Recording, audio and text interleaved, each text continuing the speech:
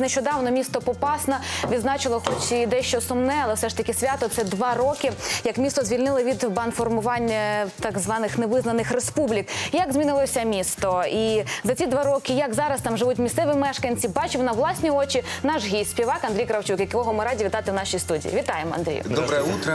Нещодавно ти був у Попасній, е, і ну які враження взагалі? От Два міста назад місто це було два роки назад. Місто було під обстрілами. Як змінилося там життя? Чи є там ще сліди війни? Які враження? Но самое главное, что я вижу там надежду и вижу там людей, местных жителей, их глаза. И во многом э, мои какие-то э, информационные э, впечатления, которые я имел от телевидения, совершенно ну, изменились, э, когда я увидел это своими глазами. Ну, до речі, є відео. Давайте ми, ми його зараз будемо просто дивитися і, і поза як говорити. От ти як ти тоді ось Ну, перебування это на самом твоє в деле сейчас Попасній? показывают, да, мое путешествие в э, военный э, лагерь, э, скажем так, где находятся наши военные, они не х- находятся в городах, чтобы города не бомбили, а находятся, в общем-то, за городом. Как настроение у бойцов? Э, б- У бойцов отличное настроение, но самое главное, мне кажется, м, надо, чтобы такое же отличное настроение было и у местных жителей. А у них гірше все. Э, так, Мне із кажется, містом?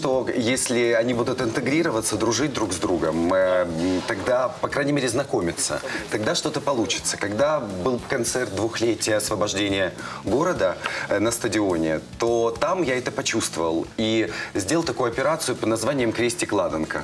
Э, Первый заместитель мэра Попасной, Николай э, Ханатов, он, э, эм, я ему подарил э, ладанку. А ось до речі, кадри з концерту. Ладанку, а военному э, крестик одному Алексею. И не сказал, что я буду делать, ну, и попросил их поменяться, но как будто бы я того не увижу, отдай, пожалуйста, ладанку. Я не увижу Алексея, отдай, пожалуйста, крестик. И это стало предметом разговора э, между собой и предметом знакомства которая дальше э, всех нас, э, собственно говоря, и особенно э, вот Николая Ханатова, меня э, спровоцировала на проект под названием «Диалоги добра».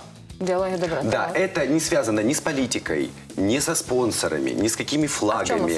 суть? Там не кричат каких-то лозунгов. Это моя инициатива артистическая, инициатива РДА. Это военно-гражданская администрация города Попасной. Вот просто наша человеческая инициатива сделать День независимости, 25-летие, которое пройдет 23 августа, э, для того, чтобы это была еще одна площадка, где можно друг с другом пообщаться.